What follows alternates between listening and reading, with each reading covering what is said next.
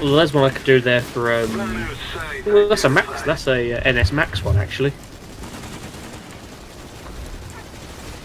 Um, while in contested territory, absorb 5,000 damage using the Seraphim shield and get Doesn't get,